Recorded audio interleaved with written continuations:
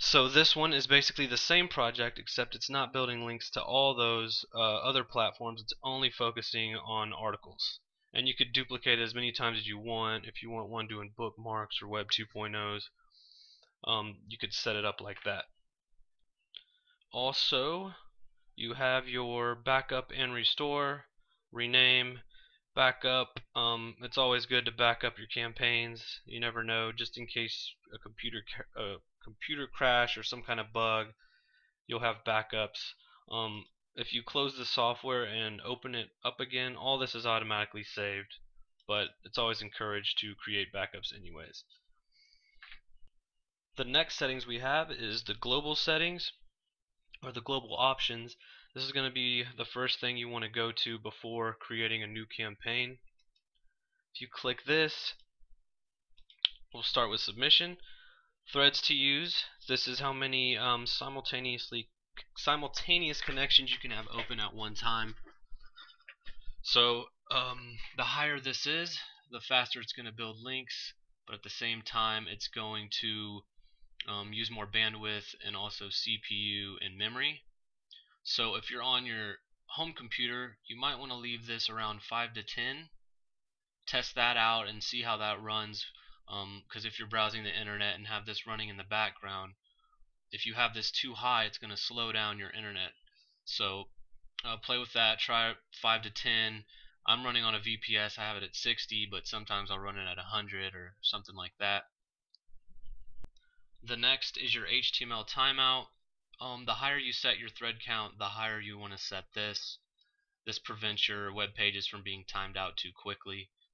Um, so if you have this set to 50, you might want to have this set to 75 or something like that. Just make sure, whatever it is, just put this number a little bit higher than the thread count. The next thing we have is proxies. Um, proxies are not required to use with this software because of the way that it works. You can actually disable proxies completely and I'll show you why in a minute but if you want to use proxies you have three options here. You can use them for um, scraping only. You can have it to where they only are used when you're scraping from search engine. You can have it to where you use them all the time when it's scraping posting checking PageRank all that stuff. Or you can have it selected to use proxies only for posting. Um, you can configure your proxies here in the proxy window.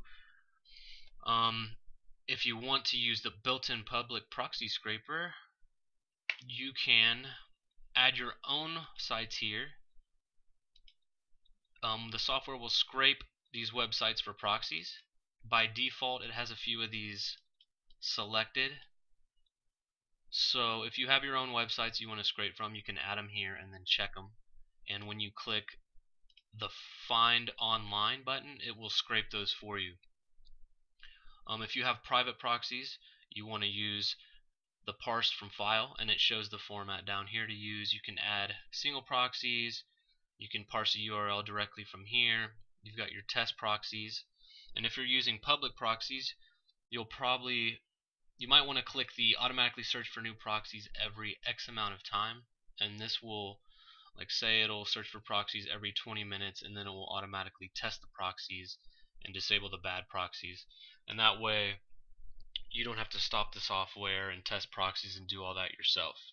But again like I said you don't even have to use proxies because of the way the software is set up.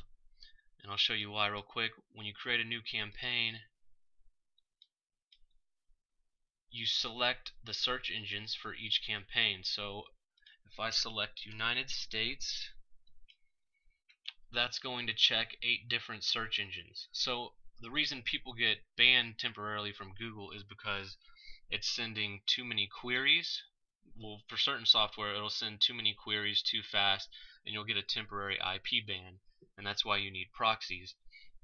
But for this, since there's so many um, different search engine options, um, it's going to be querying from different search engines at different times, and it's going to be mixing footprints and all that kind of stuff.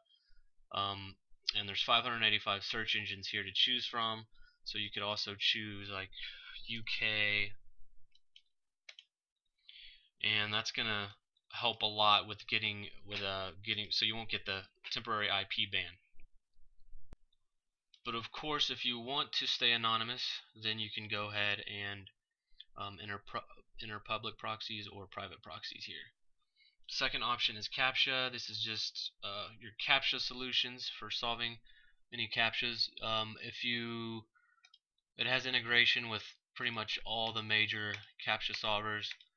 It has CAPTCHA Sniper, which is a software that's a one-time fee and it'll automatically solve CAPTCHAs for you. Um, so you could have that as your primary um, CAPTCHA analyzer and then if you wanted you could click this to have a backup so if this one fails to answer the CAPTCHA correctly it'll default to your other CAPTCHA provider. Um, and then you can also check this finally ask user if everything else fails. If both of these fail to answer the CAPTCHA then a box will pop up and you can fill it in yourself. But if you don't want any type of pop-ups, you want to leave that unchecked. Indexing, these are your indexing options and you can see there's quite a few different uh, indexers integrated with the software. By default, you'll have your um, backlinks automatically submitted to blog search engines, which basically means it'll ping your backlinks to help get them noticed and crawled. Then you have GSA SEO Indexer, which is another software sold by GSA that uh, is a one-time fee. It's like 20 bucks. When you when you download it and install it, you simply check this button, and these software will work together automatically. Actually, I have it running right here. You can see it. So when URLs get verified here, they'll automatically be sent here and this will run it through thousands of statistic sites and help to get it indexed.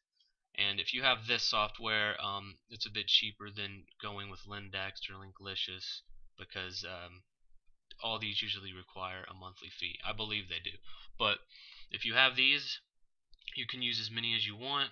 You can send them to all of them if you wanted to. That'd probably be a bit of an overkill, but uh, yeah, there's plenty of indexing options here. You can also import more ping lists if you want to. So like I said, this is the first thing you want to go to when you open the software. Set all this up and um, in the next video I'm going to go into actually starting a project and what kind of settings to use if you're going to be building links directly to your money site um, the best way to do that so uh, check out part 2 soon